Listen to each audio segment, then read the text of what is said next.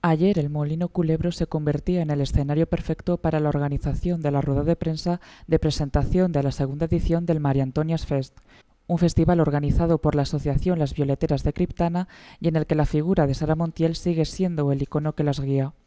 Es por ello por lo que, bajo un ambiente repleto de cuadros y detalles de la gran musa criptanense, las integrantes de la asociación Mari Carmen de la Guía y Gloria Villalba presentaron los detalles del que será el próximo festival que tendrá lugar los próximos días 16 y 17 de agosto.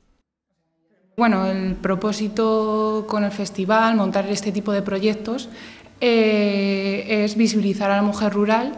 eh, animar a que otras mujeres lleven a cabo sus proyectos eh, así como otras formas de gestión cultural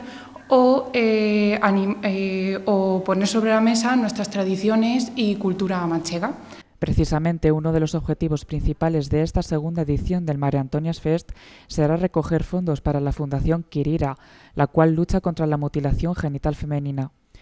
Así, el 16 de agosto, a partir de las ocho y media de la tarde, tendrá lugar en el Taller Usanza una exposición de obras y una mesa redonda con la participación de ilustradoras, entre las que se encontrarán Isabel Leal, Beatriz Albir y Asidolda Warrior. Primera cita que finalizará con una cena, así como con diversas actuaciones en directo y varias sorpresas.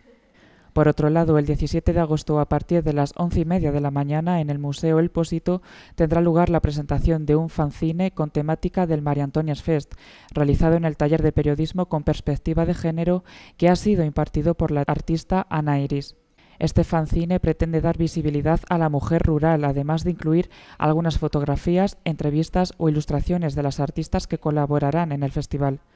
Finalmente, este mismo día, a las 10 de la noche, en la verbena municipal, se celebrará un concierto con diferentes actuaciones de varios grupos.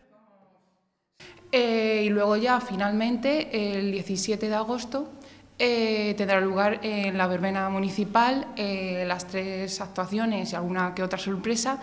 de Ana Zomeño, Extraperlo y Patio Rosemary. decir que estos tres, tres puntos eh, serán en plan foro,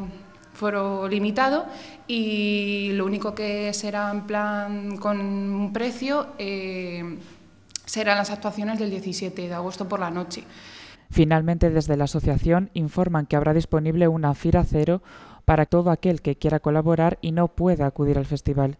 De esta manera, todo el mundo que lo desee podrá participar y abonar la cantidad necesaria para ayudar y colaborar con la Fundación Kirira.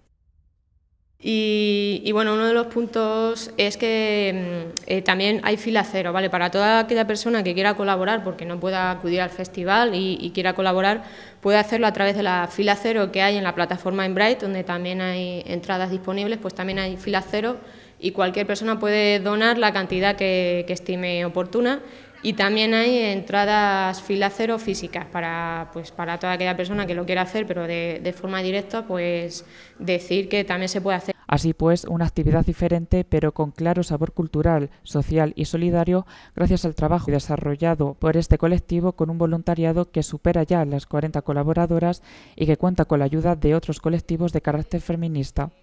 Recuerden que el María Antonias Fest se celebrará los próximos días 16 y 17 de agosto, no se lo pierdan.